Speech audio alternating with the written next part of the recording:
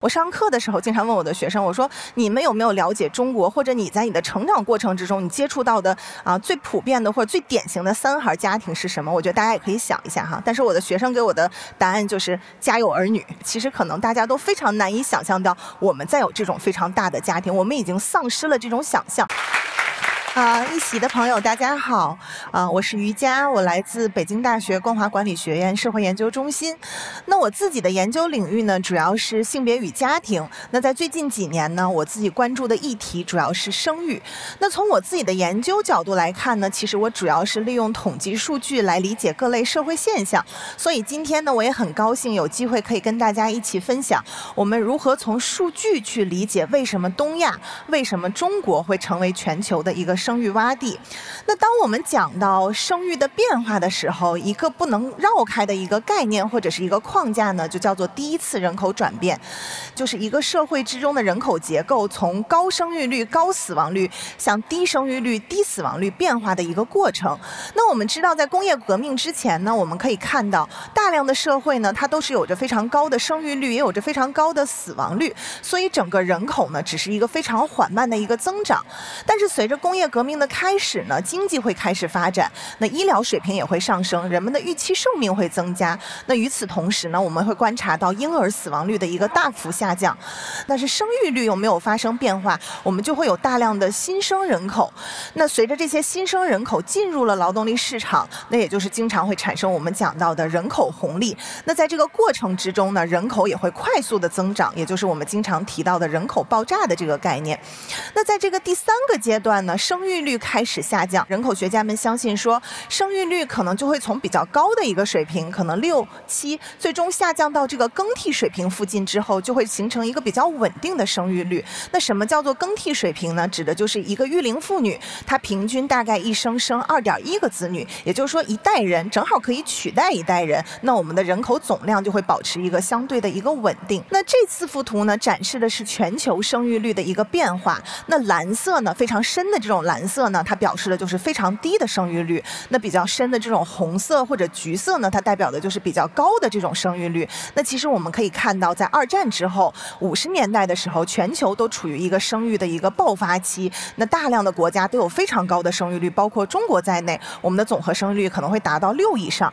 但是进入到八十年代之后呢，我们看到有大量的国家，尤其是在西欧和北欧，它的生育率其实已经降到了更替水平之下，甚至降到了一点五之下。那在二零二零到二零二五，根据这个联合国的预测，我们可以看到，除了非洲地区之外，和少数的一些地区之外，全球大量的国家生育率都已经降到了更替水平之下。而到本世纪末呢，我们可以看到，包括非洲在内，可能全球都会面临一个低生育率的问题。那事实上，从这些图我们就可以看出来，人口学家似乎错了。上个世纪七八十年代呢，在欧洲的一些国家，其实已经出现了这种超低生育率。那与此同时时呢，我们还发现了非常多新兴的家庭现象，比如说，可能大家开始婚前同居，可能大家没有结婚就开始生孩子了。所以呢，我们就提出了这个第二次人口转变的这个框架，试图呢来理解为什么会全球出现这么低的生育率。在全球的这个第二次人口转变之中呢，其实我们就出现了两个生育的洼地。可能大家对于东亚的低生育率是比较熟悉的，但事实上呢，全球还有另外一个生育率非常低的地区，就是南欧。北欧可能是全球最先下降到一个非常低的生育率水平的一个国家地区，但是事实上呢，如果我们看到二零二一年或者二零二二年在当前的一个状态，其实北欧的生育率在全球的这个发达国家之中，其实属于相对比较高的一个状态。换句话说，它经历了下降之后，在这些年又有所回升。那实际上，全球最低的生育率目前是出现在东亚，中国其实已经在二零二零年的第七次人口普查之中，我们看到中国的生育率是一点三。那其实最近两年依然在持续的下降，那还包括韩国，在二零二一年已经降到了零点八。我们可能经常在这个媒体上或者一些很有趣的文章就会说，可能几百年之后，韩国人就会从这个地球消失。那这个时候我们就会想问说，为什么全球的两个生育洼地是东亚和南欧？那这些地方有哪些共性呢？第一点呢，就是他们都有非常强的这种家庭主义的传统。那非常强的这种家庭主义的传统会带来什什么呢？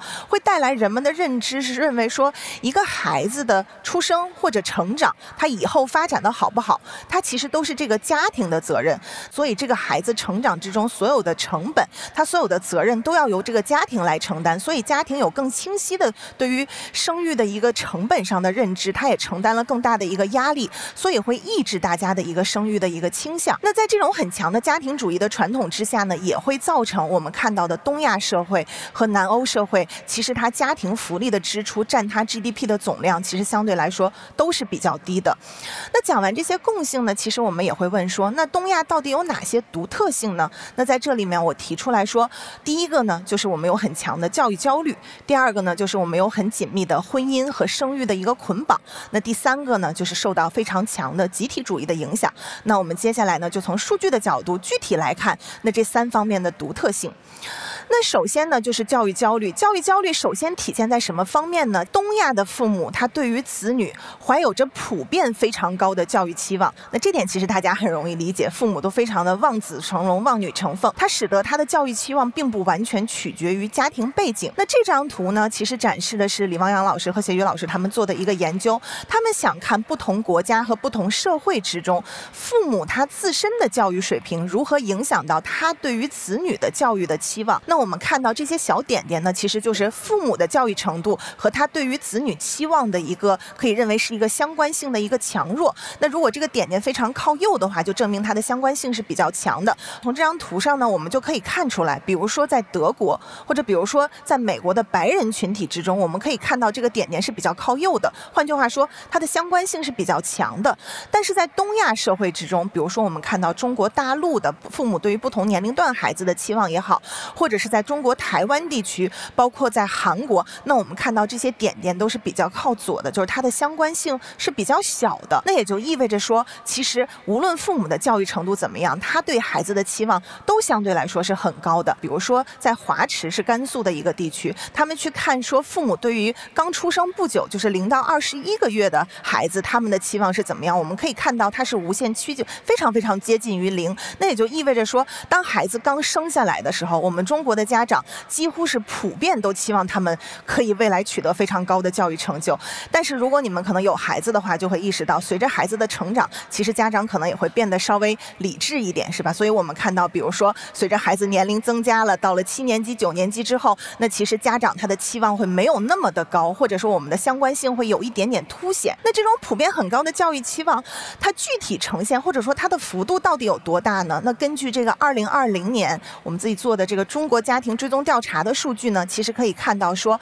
如果家长他的学历呢是在本科及以上，那么他平均期望孩子的受教育年限呢大概是十六点九三年。那如果家长的这个教育水平他只有初中及以下，就是比较低的这个教育程度，那么他期望子女的平均受教育年限呢大概是十五点六年，也几乎要完成一个本科的学历，两者仅相差一点三年左右。但事实上我们知道，家长他在本科及以上的教育和家长在初中。及以下的教育，教育他们本身的教育程度可能差了六年或者甚至更多。那这种非常高的教育期望，它会反映在哪里呢？那最直接的一个反应，其实大家也非常熟悉，就是关于补课，是吧？就是我要花费大量的资源去投资我孩子的一个教育。那这个图呢，是全球中学生一个对于十五岁的中学生做的一个调查。那它展示的呢是不同国家和地区，那孩子十五岁的孩子，他在学校之外每周参与的数。学辅导的的一个时间，那其实我们就可以看到比较深的这个橙色，它代表的是说每周参与数学的辅导在四个小时以上的这个比例。那比较浅的这个黄色代表的是四个小时以下的比例。那我们就可以看到，比如说在韩国是吧，有超过百分之八十，接近百分之九十的孩子，他们每周都会接受数学的课外辅导，并且可能会超过大概五个小时的时间用在数学的辅导之上。那中国大陆呢，我们并没有调查全部的这个地区，只选择了。北京和我们所谓的包邮区，那还包括中国、呃香港和其他的这个东亚地区，我们都可以看到有大量的时间，孩子是投入在了学校的教育之外，去进行了这种补课。那除了补课之外呢？那另一个家长教育期望的一个最直接的反应，就是我家庭的教育的支出到底是有多少？一方面，我们看到这个橙色就是家庭支出，就是家庭在教育上的支出，尤其它不是说在正规教育，而是在课外的这个教育上的支。支出占家庭收入的一个比例。那我们看到的这些点点呢，就是一个一个整体的一个支出，一个绝对的支出换算成美元大概有多少，对吧？那其实我们可以看到，因为很遗憾，这个调查没有覆盖中国大陆地区和一些其他的东亚地区，但是我们可以看到，无论是韩国也好，中国香港也好，中国澳门也好，那其实它的绝对支出相对来说是比较高的。那另一方面呢，其实也占据了家庭收入比较高的一个比例。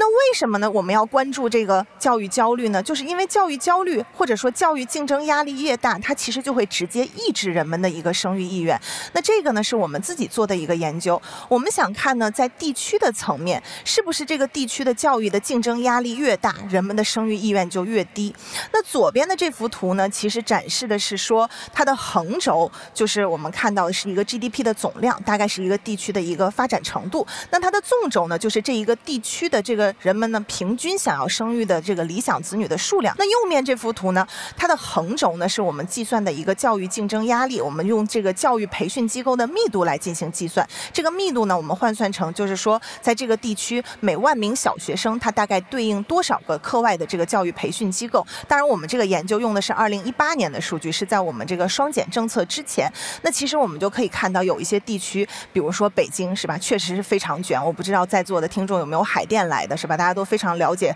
黄庄妈妈。那我们就可以看到说，对于北京来说，每万名小学生大概会对应五百到六百个这种课外培训机构，换算出来就是大概二十个小学生就会对应一个课外的这种培训机构。那我们经常会讲说，随着经济的发展，大家就不想生孩子了。那如果我们看说经济发展和生育意愿之间的关系，确实一定程度上是负向的。但是呢，如果相比于教育压力来看的话，其实教育竞争压力或者这种教育教育焦虑的抑制程度可能是更高的。这个里面给大家举一个例子，比如说这个图里面可以看到的鹤岗，是吧？大家可能对于鹤岗的认知就是那边买房很便宜，五万块钱就可以买一个房子。但是在这个里面，我们可以看到鹤岗的经济发展水平可能相对来说没有那么高，它是一个很小的城市。但是其实鹤岗的教育还是有点卷，鹤岗居民的平均的理想子女数量其实也不是特别的高。那我们就会问说，为什么教育？焦虑会抑制人们的生育意愿。那其实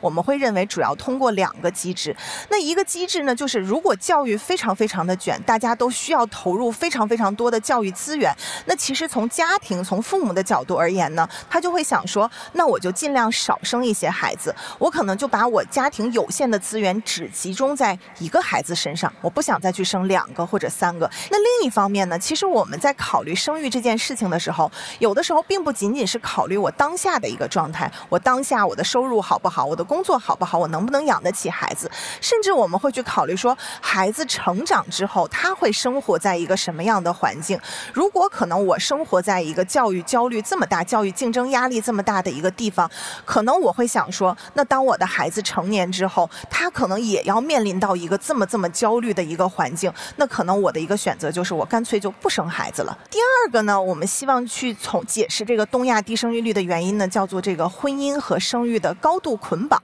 什么意思呢？就是说，人们可能就像去你去麦当劳、去肯德基买一个套餐一样，可能你买一个汉堡就一定要搭配一个薯条。那所以呢，婚姻和生育的这两件事情呢，它就是非常紧密的被绑定在一起的。一定程度上呢，人们进入婚姻之后，就意味着你一定要生育，或者说呢，生孩子就是人们进入婚姻的一个非常非常重要的一个目标。这张表格呢，展示的是中国、韩国和日本三个。国家第一行呢，展示的是这个二零一零到二零一五年结婚的这些女性呢，她结婚的时间到她第一个出生的孩子之间的一个间隔的一个时长是一个月份。那我们看到中国其实非常短，是吧？只有十一个月。我们讲说九十月怀胎，但是这个中位数是吧？就是十一个月，大家第一个孩子就已经生出来了。那韩国会稍微长一点，也没有长到哪里去，十五个月。日本呢是十八个月。那当然可能有一些她是在结婚之前就已经怀孕的一个。状况，但是可以看到，我们的这个婚育间隔依然是非常短的。那除了这个非常快速的大家开始生孩子之外呢，那我们也可以看说，在一年之内，中国其实就已经有大概超过一半的这个女性，就你结婚了一年之后，就超过一半就已经生了孩子。那中国和韩国在两年之内，那可能有超过。大概有四分之三的女性可能都生育了子女，所以就是我们可以看到这种高度的捆绑，这种婚育捆绑呢，它还反映在说不结就不生。其实我们知道全球的结婚率都在下降，不仅仅是中国，不仅仅是东亚，但是为什么这种全球结婚率的下降就对东亚社会产生了最强烈的影响？其实一个原因就在于说，在东亚社会，婚姻依然是生育最最最最重要的一个基础。如果我们不结婚，我们就不生孩子。那这张图呢，横轴展示的是一个 GDP，就是一个经济发展的一个程度；纵轴呢，就是展示的是一个婚外生育的一个比例。也就是说，在当年出生的新生儿之中，有多少的比例，他的父亲和母亲是没有婚姻关系的？那我们可以看到呢，在中国大概可能有百分之十左右；那在日本和韩国，其实相对来说是更低的，可能只有百分之三、百分之四。那和中国处于同样的经济发展水平的一些，比如说我们看到了拉美国家，墨西哥。或者智利，我们可以看到，可能有百分之七十、百分之八十的孩子都出生在婚姻制度之外。那包括一些东欧国家，比如说匈牙利，比如说波兰，我们也会看到有更高的比例的孩子，他是出生在这个非婚姻的家庭之内。那和日本和韩国的这个经济水平相类似的这个国家，一些呃欧洲的国家，呃发达国家，我们也可以看到，它其实是有更高的这个非婚生育的一个比例。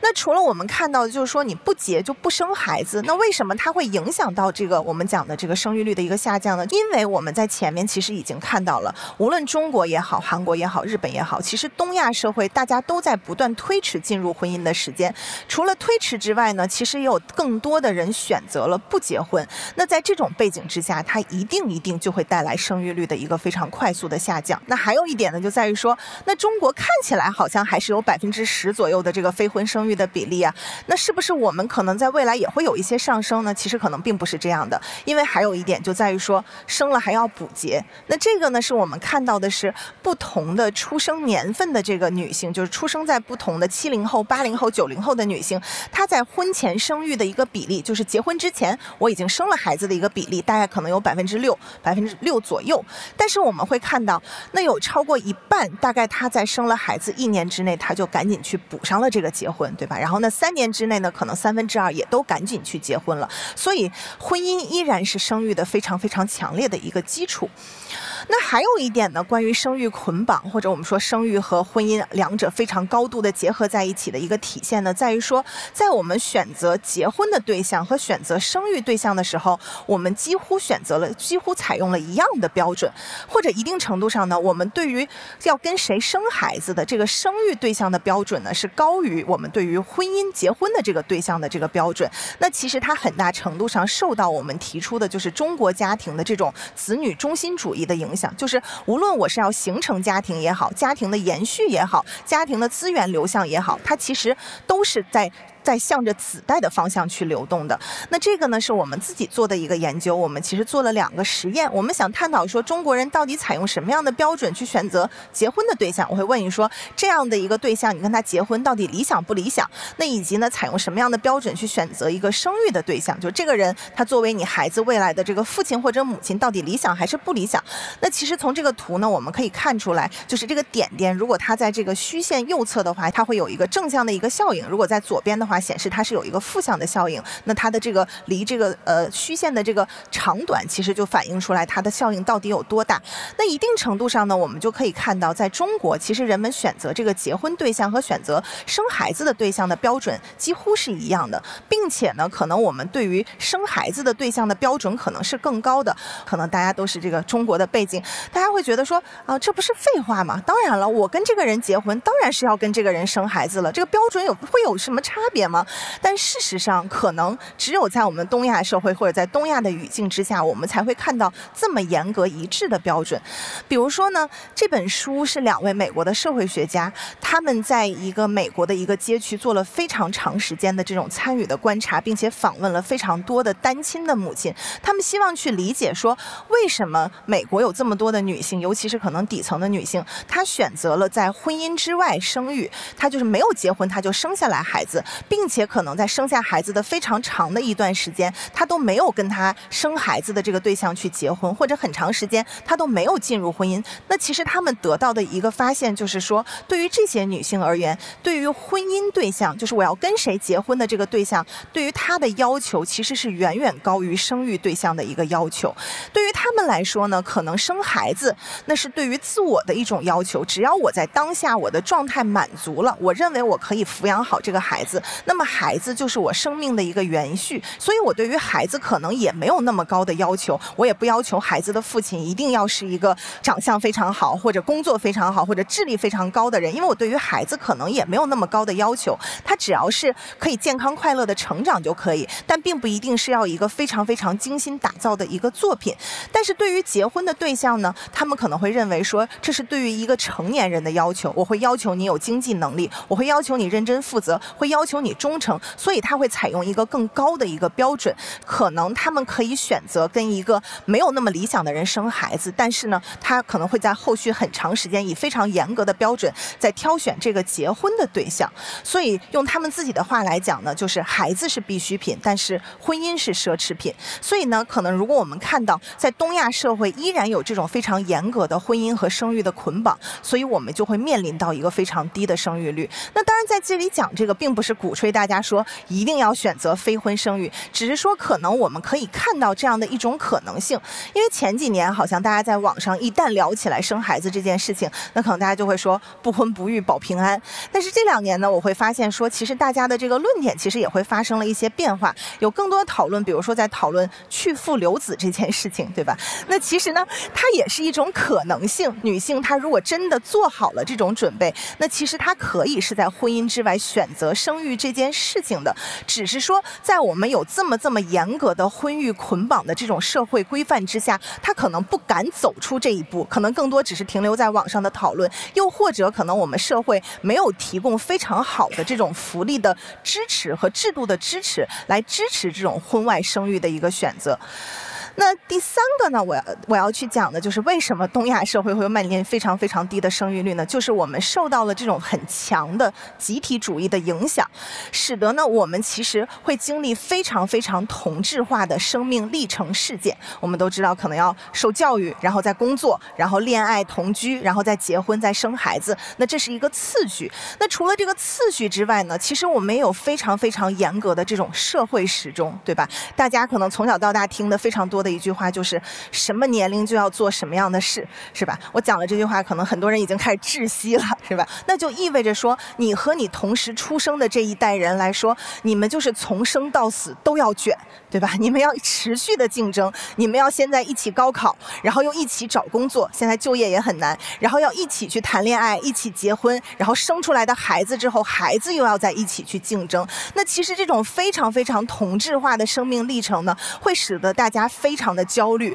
然后呢，压力也会非常的大，还会造成的一个现象就是在于说，一旦你错过了这些生命历程事件，如果你没有在所谓的正确的年龄做正确的事情，你仿佛就被这个社会落下了，对吧？你没有办法再追赶上去。一旦我错过了这个时间，可能我没有找到很好的工作，我就没有办法找到很好的结婚对象，或者我错过了这个大家都认为我应该去进入婚姻的年龄，可能就没有办法这么顺利的进入。入到婚姻之中，那由于不结婚就不生孩子，对吧？那可能也会带来我们观察到的生育率的一个下降。那这种集体主义的这个影响，其实从数据之中我们也是可以看到的，对吧？比如说，这个是我们做的一个研究，我们就去看不同国家的男性和女性，就是出生在不同年份的男性和女性，他结婚年龄的中位数和他的一个标准差，标准差就是一个它变动的一个范围。那其实我们可以看到，一般来说，我们会认为说，平均的这个。结婚的年龄越晚，对吧？大家的变动范围是越大的。你可以十八岁结婚，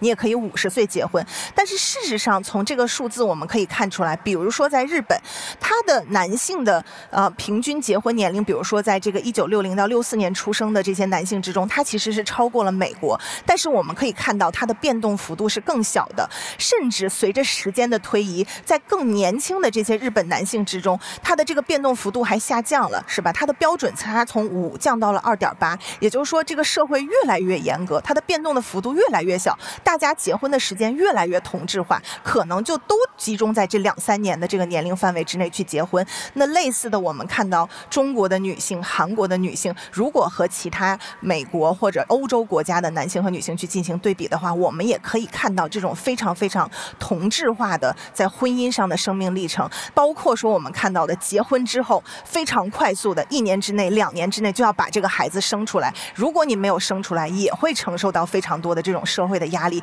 其实也是在这种集体主义的影响之下带来的同质化的生命历程事件。那刚才讲到了东亚的这种共性，那中国的低生育它到底有哪些独特的特征呢？那一个非常独特的特征就在于说，我们其实执行了非常严格的计划生育四十多年，那使得大家其实已经失去了大家庭的想象。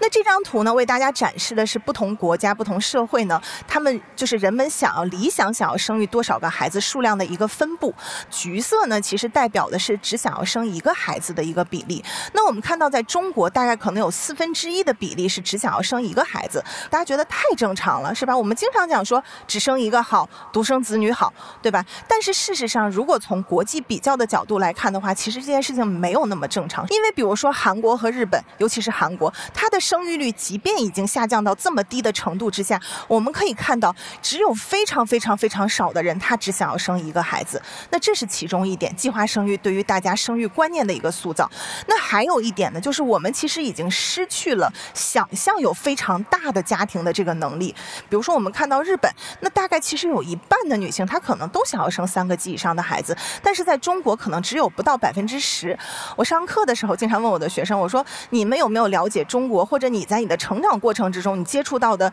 啊最普遍的或者最典型的三孩家庭是什么？我觉得大家也可以想一下哈。但是我的学生给我的答案就是家有儿女。其实可能大家都非常难以想象到，我们再有这种非常大的家庭，我们已经丧失了这种想象。那从中国内部的角度，其实我们也能看到类似的一个模式。那这张图呢，这个橘色的这个条显示的就是这个中国不同省份的一个生育的水平、生育率。那这些点点呢，就显示的是不同省份它平均想要生育的子女的一个数量。那我们其实可以看到，东北地区它一方面生育率是很低的，另一方面大家的生育意愿其实也是非常非常低的。那其中一个原因其实又跟计划生育政策有关，因为东北有大量的国企，那在这些国企之中呢，其实它计划生育政策的执行是非常非常严格的，所以我们有非常大量的独生子女家庭。这种关于生育观念的这种。这种塑造其实它是一代一代的传承下来。如果你成长在一个周围都是独生子女、都是小家庭的一个环境之下，其实你就会认为这种小家庭是非常理想的。那一个非常典型的例子，我不知道大家看没看过这个《乡村爱乡村爱情》是吧？东北的这个这个电视剧。那其实，在乡村爱情之中，我们看到这个老一辈的家庭，除了谢广坤之外，都只有一个孩子，对吧？就即便是在东北的农村，其实独生子女也是非常非常普遍的一个现象。那除了我们看到的这种地区差异呢，我们还可以看到代际之间的差异。在座可能有非常多都是九零后、零零后。那我们可以看到，在最年轻的这个出生的队列之中，就是九五到两千零三年出生的这个群体之中，有更高比例的男性和女性，他们都只想要生一个孩子，以及女性她不想要生孩子的比例也非常高，大概有五分之一都不想要生孩子。那另一方面呢，就是他们想要生三个孩子的比例是极其的低，跟他们父母的出生队列相比，其实，在他们六零后、七零后，其实他还是可以想象这种大家庭的。但是呢，在这个八零后、九零后、零零后，其实已经完全丧失了这种大家庭的想象。那这个呢，是造成中国低生育率的一个更独特的一个原因。那除了我们刚才谈到的这一方面之外呢，那中国目前面临的低生育率的一个更独、另一个非常独特的一个原因呢，就在于说，其实我们并不是因为生育意愿的一个快速下降而带来的生育率的走低，而是因为我们生育实现率的一个快速下降。那什么叫做生育实现率呢？简单来说，它就是我们实际生育出来的数量除以我们想要生育出来的数量。那当这个实现率大于一的时候呢，其实它代表的是人们有这个没有满足的避孕的需求。那当这个实现率小于一的时候呢，它其实反映出来的是我有没有满足的生育意愿。我想要生两个，但是我只生了一个。那中国的一个特殊之处在哪里呢？在于我们说之前中国的生育率可能还可以，不是特别高，但是可能也是一点五、一点六。但是在这个二零二零年第七次人口普查的数据出来之后，我们突然发现说，中国就进入了极低生育率的国家，中国的生育率只有一点三。那到底发生了什么呢？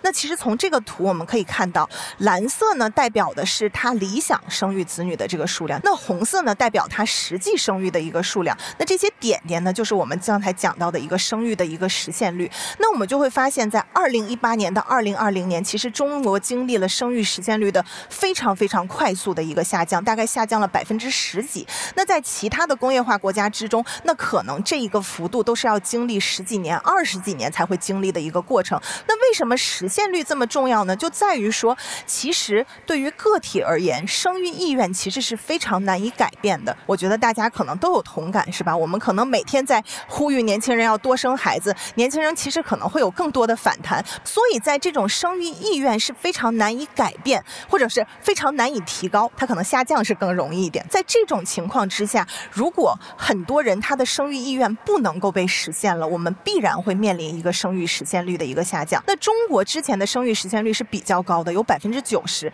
但是如果比如说中国降到了日本和韩国的水平，甚至美国的水平百分之五十、百分之四十，那我们只会面临一个更加更加低，甚至比韩国和日本更低的一个生育。比如说我们看到这张图上，韩国和日本虽然它的生育率非常低，但是它其实生育意愿相对来说还是挺高的。所以如果它有非常非常大力的措施，它去满足大家的生育意愿，它去使得大家可以实现它的生育意愿，它依然有更大的一个空间去提高。但是在中国当下的背景之下，可能在比较短期的一段时间之内，我们的上限也只有如此了，是吧？我们很难再去提高了。那什么因素，或者说我们还可以做一点什么呢？哪些因素可以对生育实现率有一些激励作用呢？这也是我们自己做的一个研究。我们想要去探讨说，有哪些因素会使得大家可能生育的可能性会提高一些？那其实我们提供了一些条件，也是做了一个实验。那这个结果呢，就显示说，那如果有这个长辈来带孩子呢，他对于生育的这个促进的效应，相当于说这个家庭的年收入大概增加十二万，是吧？也就是每个月大概会。增加一万块钱左右，其实和我们在市场之中，比如说北上广这种一线城市看到的这个育儿嫂的价格几乎是相当的。所以在中国的家庭之中，其实长辈的照料支持其实是非常非常重要的，在育儿上面对吧？但是其实我们现在又面临到这个延迟退休的一个问题，所以到底是顾老还是顾小，是吧？其实也是我们目前面临的一个困境。那除了我们看到的这种家庭的照料之外呢，市场化的育儿照料其实也是非常重要的。如果你家庭的附近有这个价格比较低的这些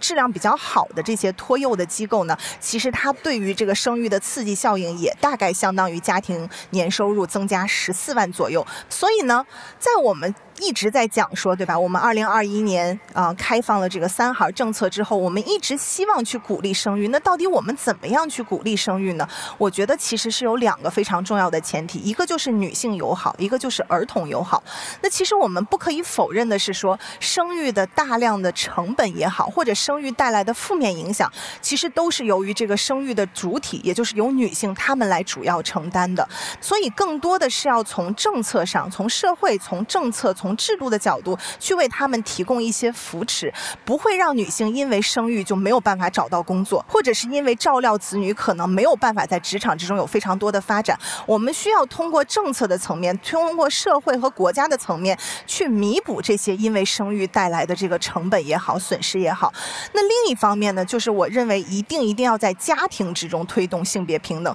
这个的作用可能是更大的。那另一方面呢，就是我们其实还要营造一个儿童友好的。环境，我们每天都可以在新闻上看到大量的这种冲突，比如说关于上厕所，对吧？比如说高铁之上儿童吵闹，比如说饭店之内儿童跑来跑去，那这个它究竟是到底是什么造成的？它是不是因为这些家长没有把孩子带好，或者是这些没有孩子的年轻人是不是他的容忍程度太低了，他太自私了？我觉得可能既不能去怪家长，不能去怪儿童，也不能去怪这些人。我觉得更多的是在我们社会的层面没有营造一个儿童友好的。环境没有给他们提供更好的一些活动的空间，没有提供足够的资源。比如说，我们可能没有提供足够的母婴厕所，我们在高铁之上没有一个儿童专用的一个车厢，就让这两部分人直接产生了这些冲突。所以，无论是从硬件的角度也讲，也也好，还是从我们观念的角度也好，其实是要提供这种儿童友好的环境，才不会产生这种厌童的这种情绪。那除了这一点之外呢，我也想提到的就是，我们不要过分强调个人和家庭的责任，尤其在生孩子和养孩子的方面，包括刚才提到的厌童的现象。其实有非常多的人会讲说啊，如果你的家长没教育好你，我就来教育你，是吧？我会替你的社会会替家长来教育你。但是事实上呢，他也是在无限的强调父母对于子女的一个责任。当然，我们在中国的语境之下，大家觉得就是这样的呀。但是事实上，孩子或者儿童或者新生儿，可能整个社会都对他是有责任的。个体和家庭、父母当然是有责任，但是他们也没有办法去负全部的责任。包括如果我们在这种非常强的家庭主义的传统之下，我们过分强调个体和家庭的责任，就会出现一种论调。大家在网上可能经常会看到，就会说穷人就不要生孩子了，对吧？因为家庭要无限制的为孩子投入，如果你不能给孩子投入刚才提到的非常好的教育资源也好，你不能给孩子提供非常好的环境也好，你就不要生孩子了，你不配生孩子了。这其实也是一种社会达尔文主义。所在我们用数据的角度也好，在论证的角度也好，在认清了说中国面临低生育率的这些原因之后，如果我们依然想要去提高生育率，其实更多的是应该让国家和社会和政府去承担更多的责任。那非常感谢大家，我今天的分享就到此为止啊！提前祝大家二零二四年快乐。